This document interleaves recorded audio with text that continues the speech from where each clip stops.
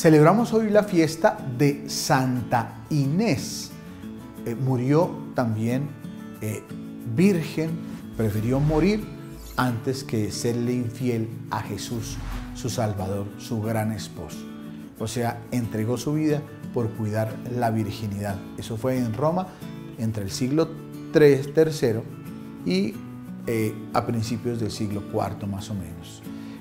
También es una tradición muy linda en esta fiesta para que eh, podamos todos pedirle a Santa Inés que cuide a las niñas, a las mujeres y a todos nosotros nos conserve en castidad. En el Evangelio de hoy, todos estos días el Evangelio ha presentado cómo Jesús cautiva, porque es la presencia del reino en medio de nosotros. Marcos 3, 7, 12. Jesús es capaz de sanar, de curar, eh, de sacar lo inmundo del corazón de las personas. Eso dice el Evangelio. Era capaz de sacar lo inmundo, los espíritus inmundos. Yo te pediría que hoy le dijéramos al Señor eso. O sea, conocer a Jesús es arrancar de nosotros lo que hay de inmundo. Y todos tenemos alguna cosita por ahí que, no es, que, no, que huele mal, que es inmunda. Nuestras acciones, nuestras maneras perversas de, de vivir, de actuar, de moderar, de hacer tantas cosas. Y no nos tiene que dar pena aceptar eso.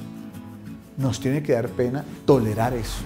Más bien digámosle a Jesús que el arranque de la vida, lo que no nos sirve, qué mejor que vivir como Santa Inés, viviendo feliz y dando la vida por aquel que vale la pena amar. Bendícenos, Señor, y arranca en nuestro corazón lo que no nos sirva.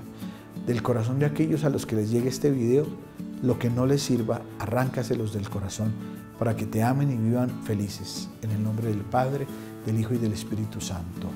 Amén. Comparte este video con otras personas. Yo creo que les puede servir. Haz ese esfuerzo de colocar un like, de reenviar esto, de seguirme en estas redes. Esto vale la pena.